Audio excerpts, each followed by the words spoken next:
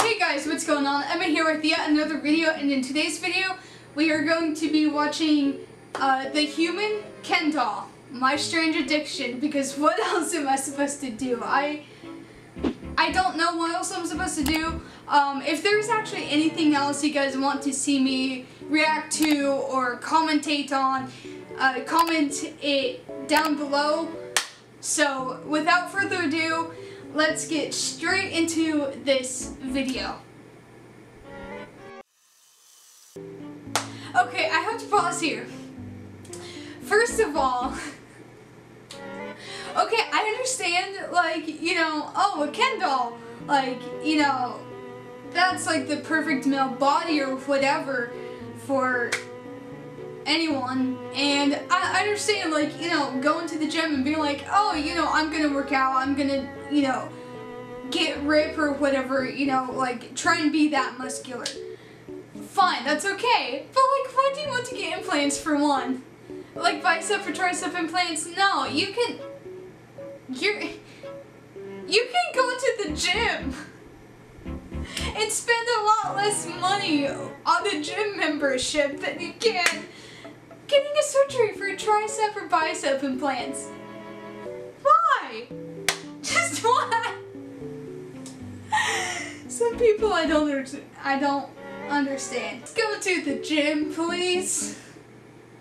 A gym membership is so much more or less expensive than getting a surgery or an implant. Plus there's this thing called protein powder or protein shakes or protein bars where those help you gain muscle.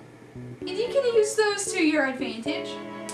No big deal. Guy with muscles who goes to the gym. I'm sorry, but I much prefer a guy who goes to the gym and gains muscles naturally than through implants. Heck, I'll even go to the gym with him. I go to the gym. I'll go to the gym with him. I I'll take a guy who I can go to the gym with and work out with than a guy who's like, oh, you know, I want implants to make it look like a, you know, I have muscles. I'm sorry, but no. No girl is gonna want that. A girl, I mean, at least for me, I prefer a guy who, you know, is a little bit more muscular and who has some muscle to him.